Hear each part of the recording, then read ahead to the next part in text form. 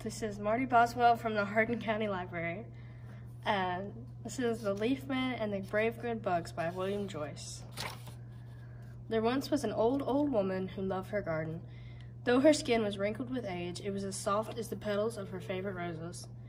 When I was a child, she told the children, the garden was a miraculous place and anything could happen on a beautiful moonlit night.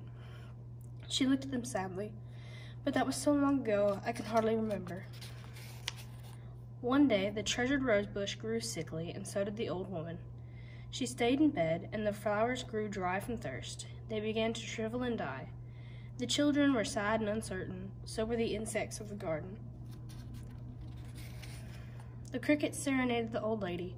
The fireflies wished her well, but she would not wake. Her dreams were fitful and filled with things from long ago. She grew weaker and weaker. The garden was in peril.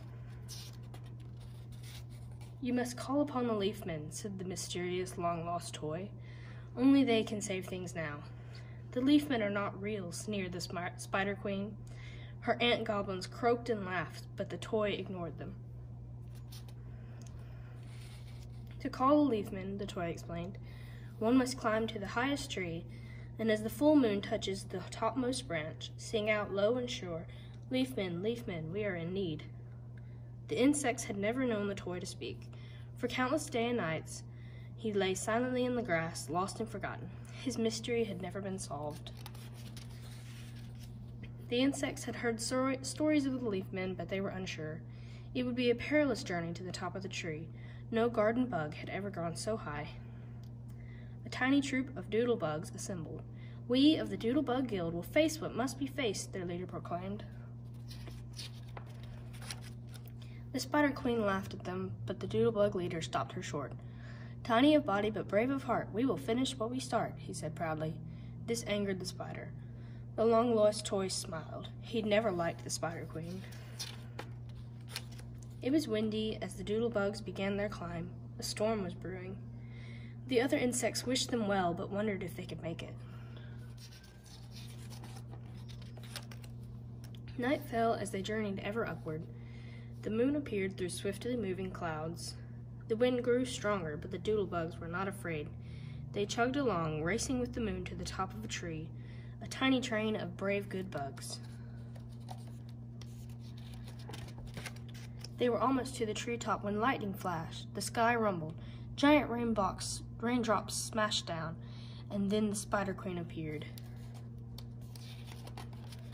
The doodlebugs rolled up tight to save themselves, but doodlebug bowling was just what the Spider Queen hungered for. No spider snacks are we, shouted the doodlebug leader. He tickled a goblin and got away. Leaf men, he called out. Leaf men, we are in need.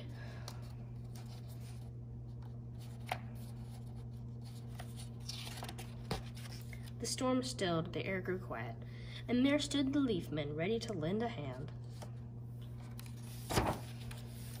From branch to branch the battle waged. With arrows made of thistle, the leaf men shot the, the spider through the heart. Her goblins fled in horror.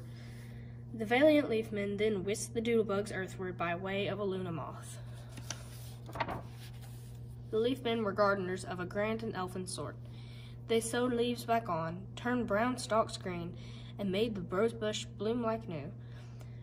Tiny of body but brave of heart, we will always finish what we start, sang the doodlebugs as they helped. But when the gardening chores were done, the, the leafmen grew quiet. The Spider Queen at last is dead, they told the long-lost toy. And only you can save things now.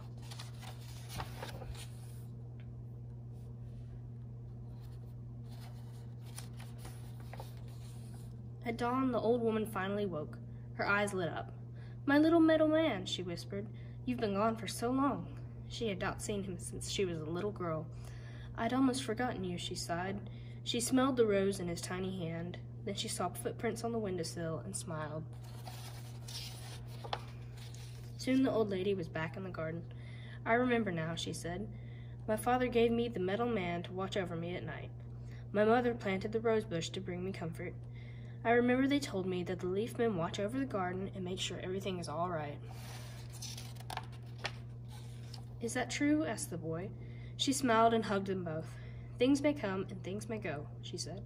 But never forget, the garden is a miraculous place, and anything can happen on a beautiful moonlit night.